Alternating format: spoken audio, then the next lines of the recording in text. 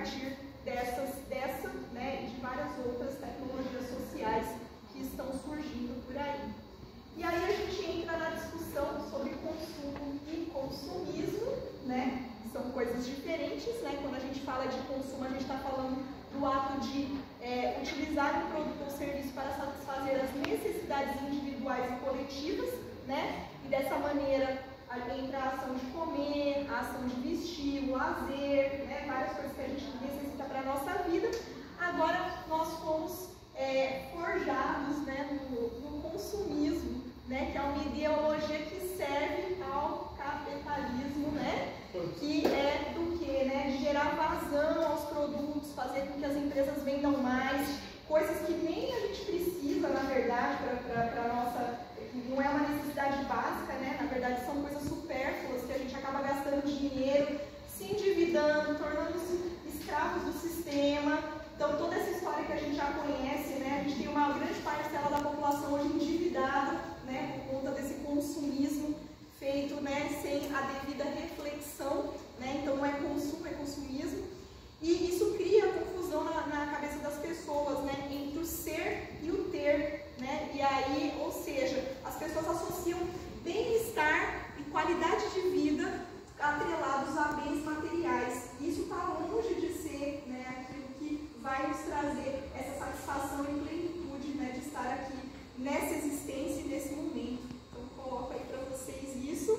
Né? É, eu ia adentrar um pouco mais na questão do consumo, falar das origens disso, mas depois eu passo para vocês, se vocês quiserem, os slides da aula, que aí eu entraria aí em, em questões né, ligadas a de onde surgiu. Não sei se vocês conhecem Freud, né? O sobrinho dele foi um dos, uma das grandes pessoas que começou a trabalhar com marketing focado para adentrar o inconsciente humano e gerar essas necessidades que a gente nem são necessidades nossas, né? Essa necessidade criada para que a gente entrasse nessa roda do consumo. Então, é uma coisa interessante. Aí tem a, a história né, das modelos que ele contratou para fumar numa passeata para estimular as mulheres feministas a, a, a fumarem e aí a consumirem um cigarro, associando isso à a, a, a, causa feminista que? E aí são várias experiências aí que foram geradas. É, tem um, uma questão interessante que ele fala do consumismo e desejos, né? Então, quando começou a gerar, começou a surgir né, essa questão dessa, dessa aumentar o consumo lá nos Estados Unidos, tem o Paul Maser, que é um banqueiro americano, ele diz assim, devemos mudar a América de uma cultura de necessidades para uma cultura de desejos. As pessoas precisam ser treinadas para desejar, para querer coisas novas, mesmo antes de consumir as antigas. Devemos mudar uma nova mentalidade na América. Os desejos de um homem eles devem eclipsar as suas necessidades. E daí a gente uhum. vem né, ver onde estamos hoje e de onde surgiu né, toda essa concepção. Então, por exemplo, os carros né, vendidos como símbolo da sexualidade ou da virilidade masculina, né, as modelos lá fazendo propaganda dos carros, né, a, a moda, né, as roupas e acessórios como expressão da personalidade quem já viu a propaganda lá da, da é, Julia Roberts, do perfume lá, lá, lá,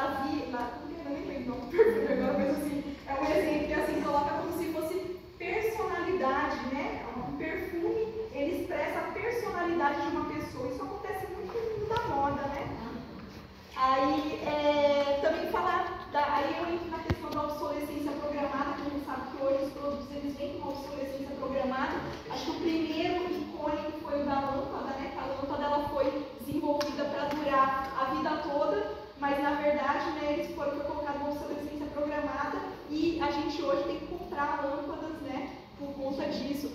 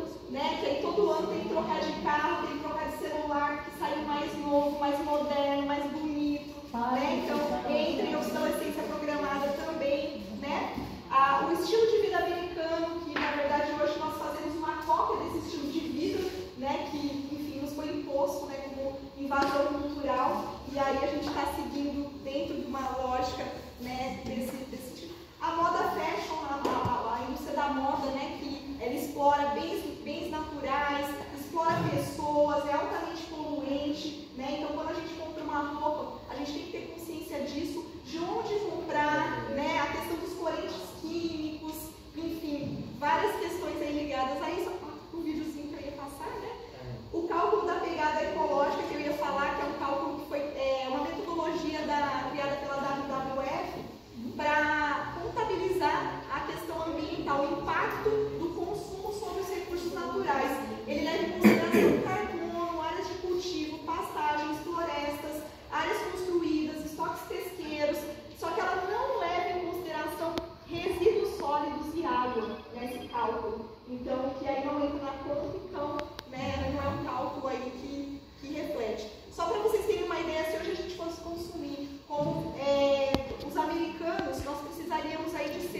estadunidenses. planetas para dar conta do consumo, se toda, toda a população do, do planeta consumisse igual os americanos.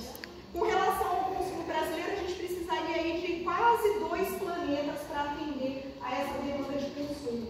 Então, só para vocês terem uma ideia, avaliando aí, fazendo um panorama aí de quantas, quantas terras a gente precisa para suportar. Olha, conclui na paz, viu? Uhum.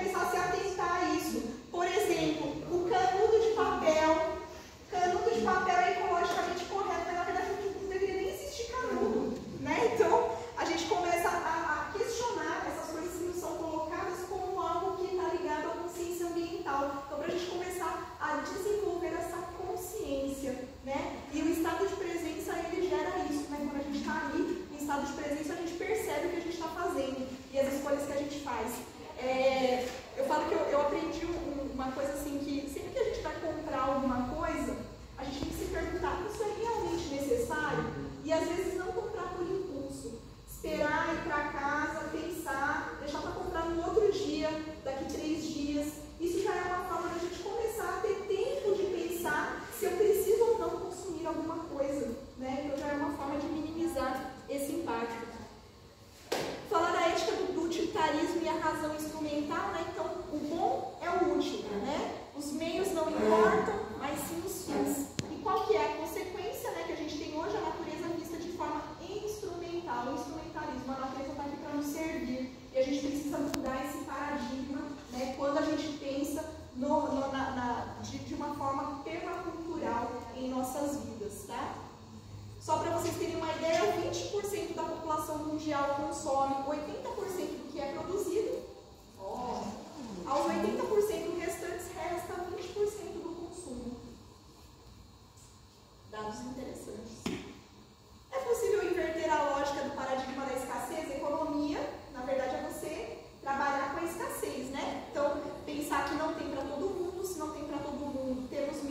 falte, né? Se temos medo de que falte, competimos para criar estoques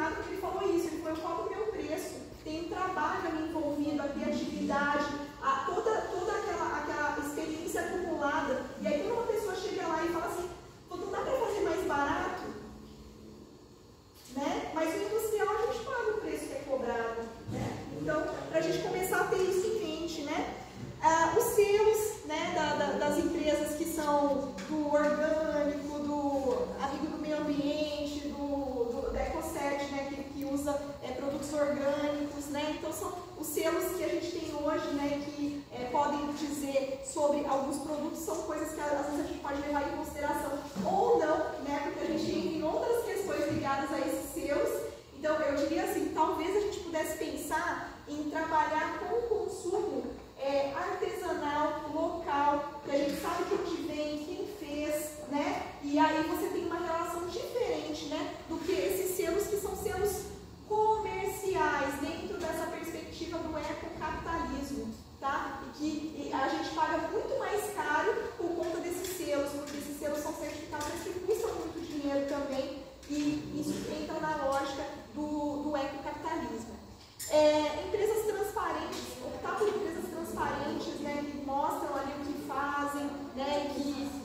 que trabalha com uma perspectiva é, aberta, né, para justa e, e, e transparente para as pessoas, e a economia do associativismo, né? Então a CSA é um exemplo e a gente fomentar esse tipo de organização que vai ser muito importante para a gente. Né? Tem um, um quadrinho que eu acho bem interessante que ele fala para além da sustentabilidade, a cultura, a cultura sustentável pelo é David Holmgren, né? Então ele coloca lá a cultura industrial em relação à cultura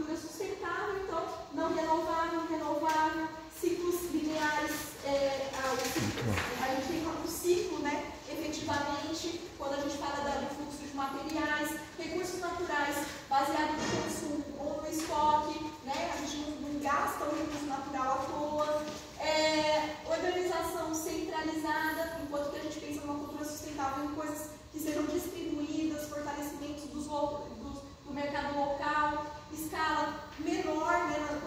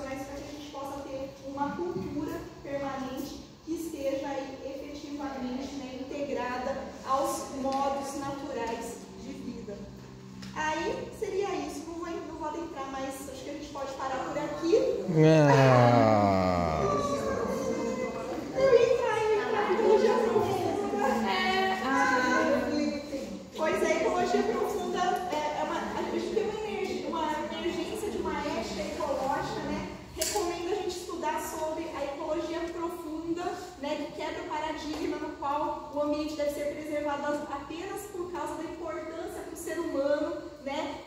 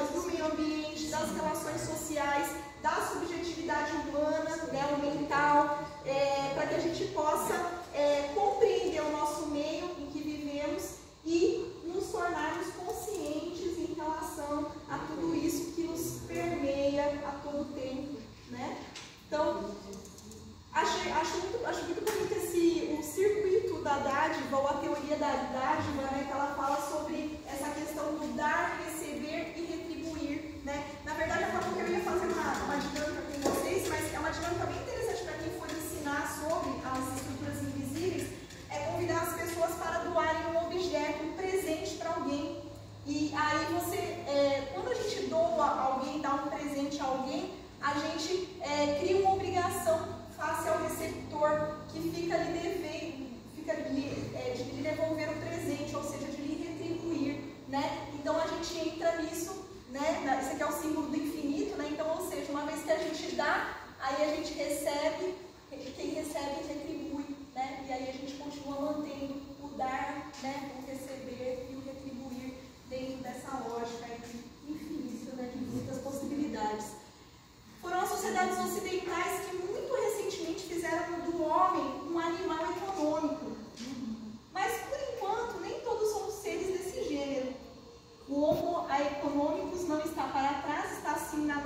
Parabéns como homem da moral, do dever, como homem da ciência, da razão. O homem foi durante muito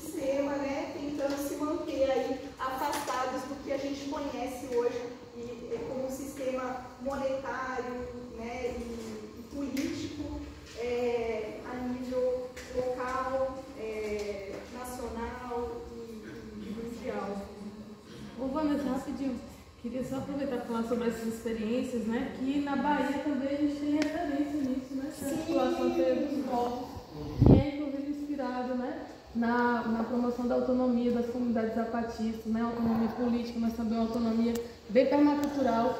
Quem quiser ler, né? É o livro Por Terra e Território de Jonas Ferreira e Erasto Felício, eles falam um pouco sobre essa experiência que eles estão construindo lá. E eu estou estudando um pouco sobre essa experiência justamente por entender que eles estão pautando uma proposta real, né?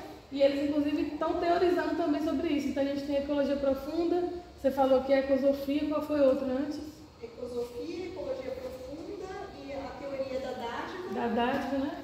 Tem a dragãozinho que trabalha. Não. Estão falando que isso que eles estão fazendo, por exemplo, o Erasto e o Neto, que é uma liderança do MST, eles estão falando que o que eles estão fazendo é ambientalismo radical e popular. Assim como a economia solidária é solidária e popular, o ambientalismo que eles estão fazendo também, porque eles questionam a propriedade privada da terra. Então, essa terra que vamos fazer toda essa ecologia, ela está na mão de quem, vai servir a quem e como é que a gente vai viver nisso, né? Então a gente quer o quê? Autonomia dos povos dos territórios. E é isso que a T está fazendo. A gente está fazendo umas aliancinhas aí de permacultura com o T. Quem quiser saber, na reunião de domingo a gente vai falar. Isso eu ia falar, a gente vai compartilhando as informações.